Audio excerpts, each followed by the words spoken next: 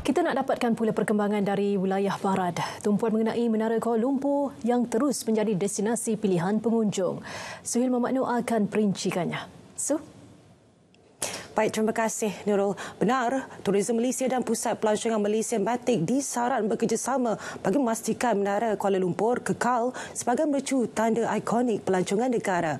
Menurut Timbalan Menteri Motek Khairul Firdaus Akbar Han, saban tahun Menara KL turut menunjukkan peningkatan jumlah kunjungan pelancong terutama dari dalam dan luar negara.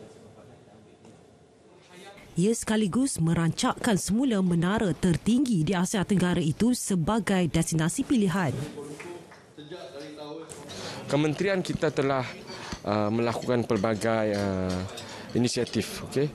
Salah satunya kita menyediakan geran.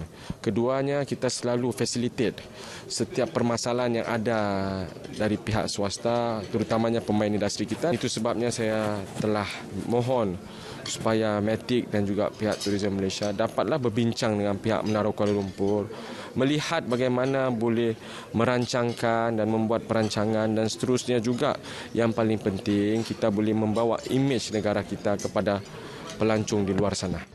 Beliau berkata demikian selepas melancarkan Merdeka Madness 66% for all at Menara KL.